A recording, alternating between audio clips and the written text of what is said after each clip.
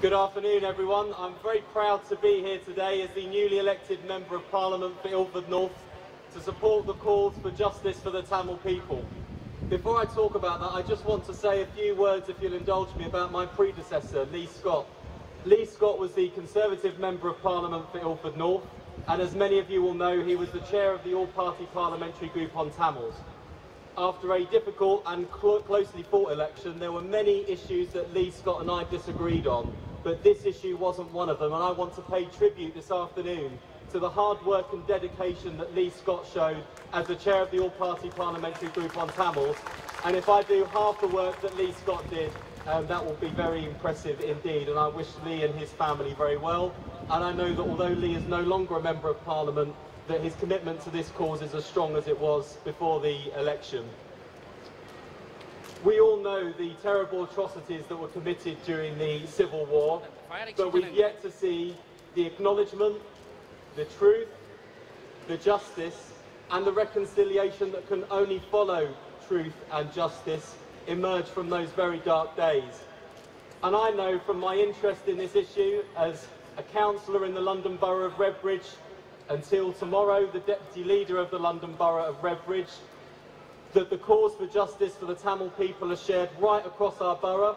People in all communities, from all faiths and backgrounds, all political parties, want to see justice for the Tamil people.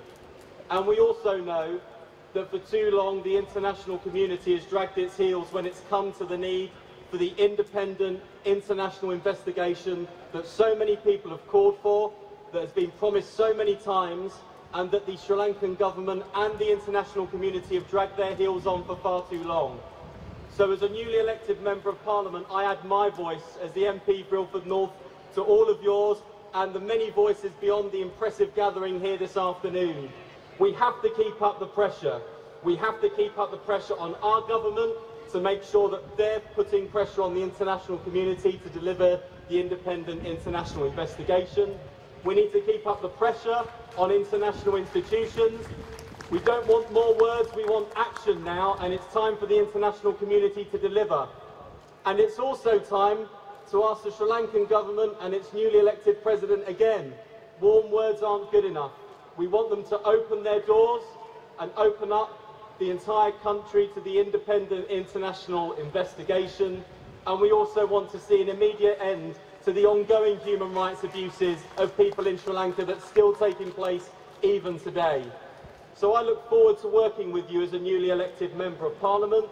I'm so impressed with the gathering you've achieved, you achieved here this afternoon and let's hope that as newly elected Members of Parliament go about their work today on the first day of Parliament, that not just those MPs that have significant, vibrant Tamil communities as I do in Ilford North and we have in Redbridge but every single member of parliament, whatever community they represent, however far they've travelled today, they must know what happened during the Civil War.